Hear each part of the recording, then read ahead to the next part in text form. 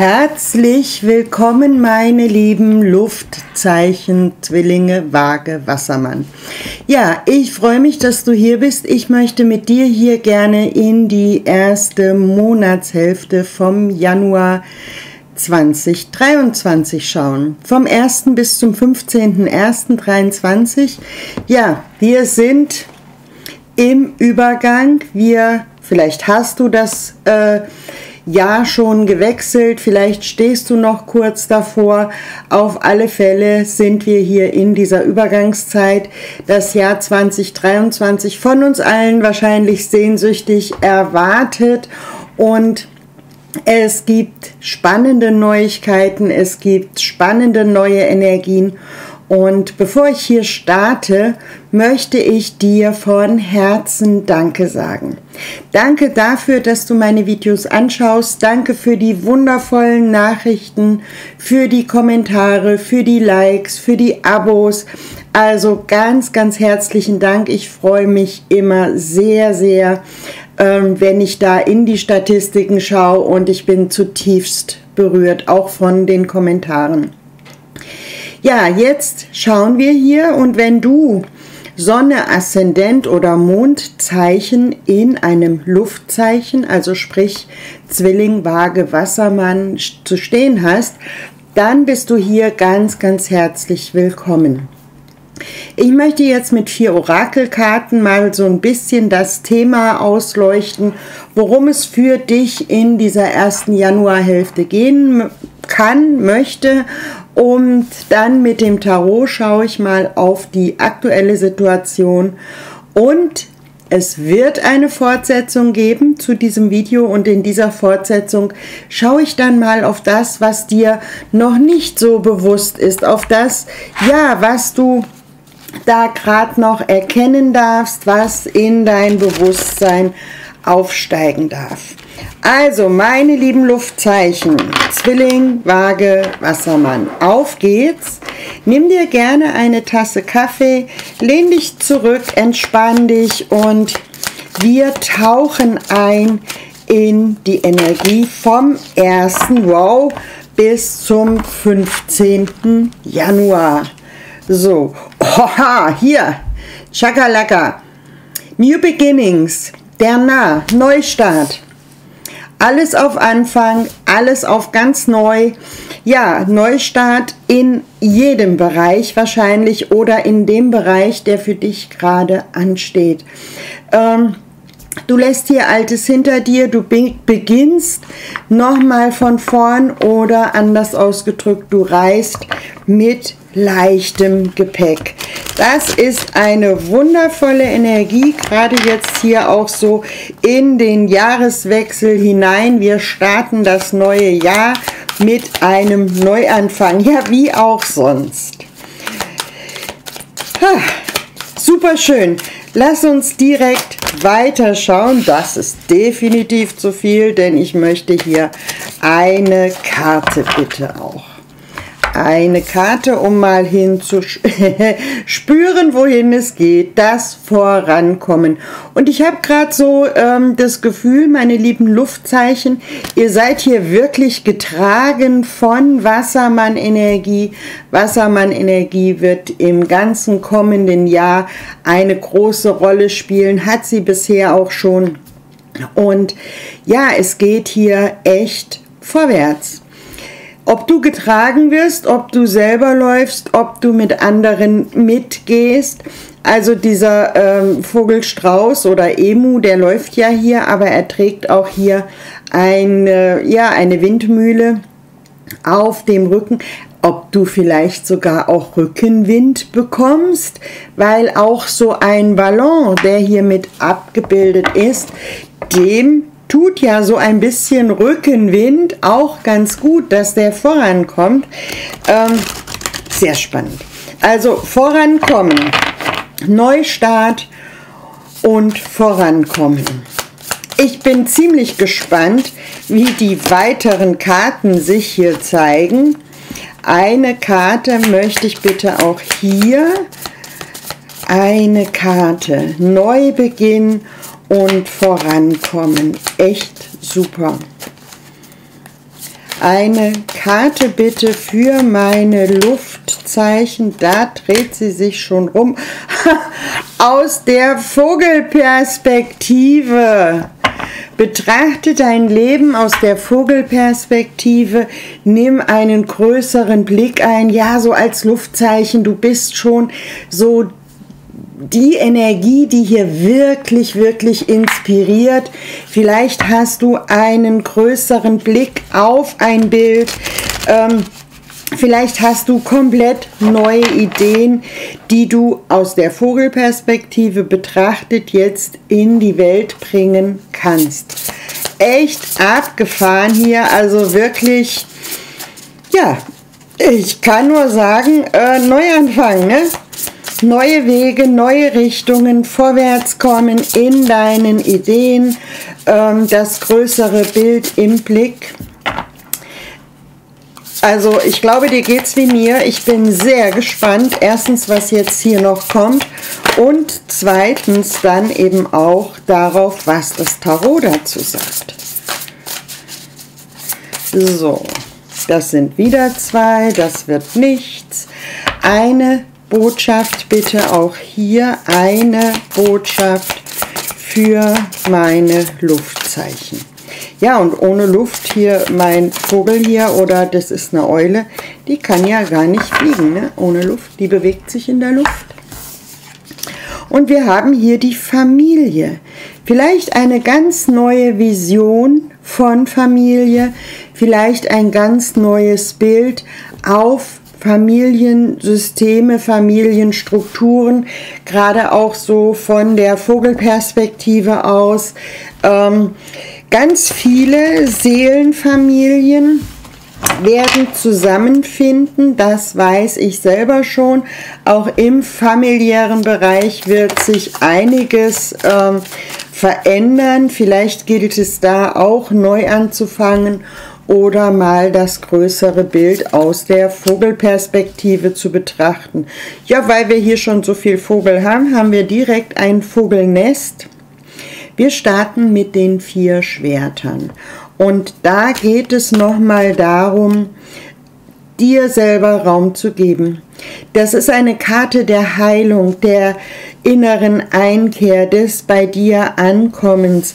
Die Frau hat sich hier in dieses Nest eingekuschelt Vielleicht brauchst du auch noch ein bisschen Entspannung und Ruhe, bevor hier dieser Neustart losgeht.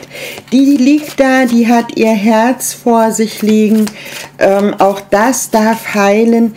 Das ist wirklich eine Karte, eine Energie der Herzheilung, des Ausruhens, des ja, Besinnens, des Rückzuges ähm, um wirklich in deiner Energie anzukommen. Uh. Die Königin der Münzen und da geht es um deinen Selbstwert. Und ganz ehrlich, liebes Luftzeichen, bei allem Vorwärtsgang hier darfst du dir auch mal über deine eigenen Bedürfnisse bewusst werden. Du darfst dir selber gerne liebevolle, nährende Energie und auch Räume schaffen. Du darfst ja dir eine Hühnersuppe kochen, du darfst dich an dich ankuscheln, ähm, du darfst dieses Gold in dir erkennen.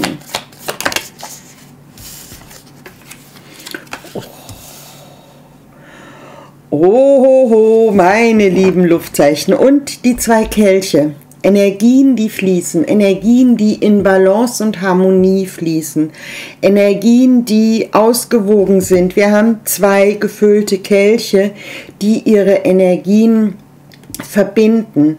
Das kann jetzt sein, dass du hier Sehnsucht hast, dass hier ein Mensch in dein Leben kommt mit den zwei Kelchen. Es kann aber auch sein, dass du ganz schlicht und ergreifend in dieser Ruhephase deine inneren Energien klärst, deine männliche und weibliche Energie in Balance bringst.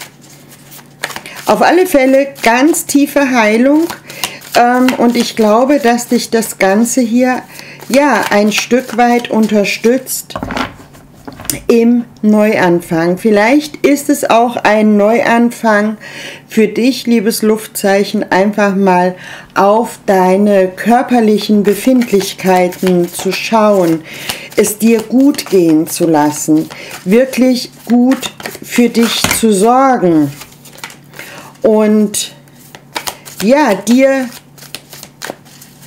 mit dem, was dir gut tut, dich damit auch zu nähren, zu unterstützen. So, das sind hier derweil immer wieder zu viele. Wir schauen weiter. Was? Aha, guck mal, geht doch.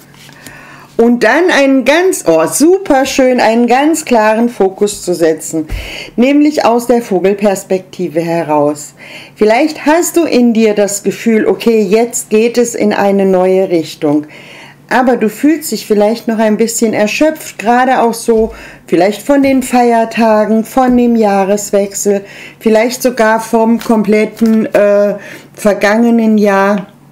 Und du darfst mit dieser Vogelperspektive auch noch mal so ein bisschen Rückschau halten, ähm, weil der Nah hier, der reist ja mit leichtem Gepäck. Und aus der Vogelperspektive erkennst du, was dir dient, was dich nährt und was dir nicht mehr dient. Und dann kannst du einen ganz klaren Fokus setzen auf das, wohin diese Reise gehen möchte. Das Ass der Schwerter, das ist auch die Entscheidung. Das ist auch die Entscheidung jetzt, neue Wege zu gehen. Oh, und es ist die Entscheidung hier, die ein oder andere Grenze zu ziehen. Vielleicht sogar auch in Bezug auf Familie, auf ähm, Ursprungsfamilie, ähm, wo hier vielleicht Menschen dabei sind, die dich in deinem Vorankommen nicht bestärken. Also die haben wir alle hier irgendwo so ein bisschen. Das können auch Glaubenssätze aus dem Familiensystem sein, die da sagen, äh, nö, das kannst du doch nicht machen, das geht doch nicht, das darfst du doch nicht. Und da gilt es mutig zu sein, Grenzen zu ziehen Hast du auch schon gemacht, aber wir haben hier auch noch mal so diese gewisse Form der Erschöpfung. Die Frau steht hier zwar, hält noch ihren Stab, hält sich auch ein Stück weit an diesem Stab fest, ähm, ist vielleicht noch nicht so ganz erholt in ihrer Kraft und sie spürt aber, es ist an der Zeit jetzt hier ja, eine Grenze zu setzen und für das eigene Wachstum einzustehen. So, eine Karte bitte noch.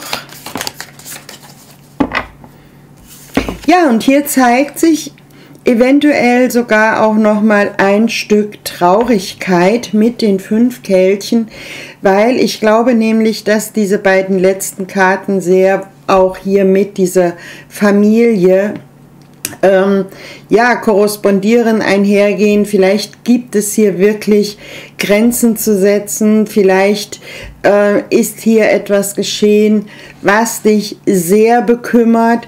Wir haben hier mit den fünf Kelchen wirklich den tiefen Kummer. Was du hier gerade noch betrauerst, das ist schon da, weil dieser Kelch, der hier steht, das ist einer dieser zwei Kelche die dich hier wirklich auf neue Wege bringen können.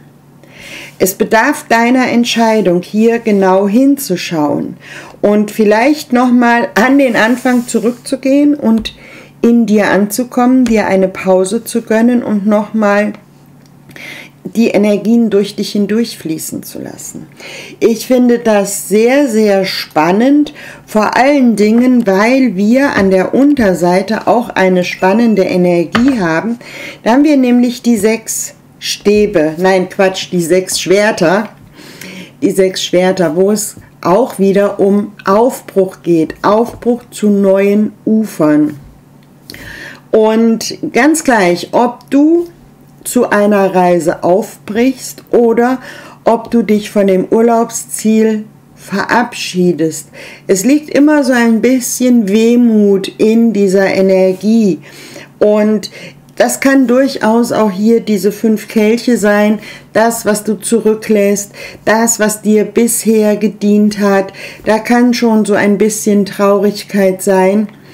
Und ja, es geht einfach auch darum, tiefer zu schauen, hinter diese ganzen Themen zu schauen, vor allen Dingen, weil ich wirklich spüre, dass es hier ein kraftvoller Neuanfang ist. Vielleicht ist es auch ein Neuanfang, das kann jetzt für den einen oder anderen von euch zutreffen, eine Familie wieder zu vereinen, das, was getrennt war, wieder zusammenzuführen, sei es als Ursprungsfamilie, sei es auf der Ebene der Seelenfamilien.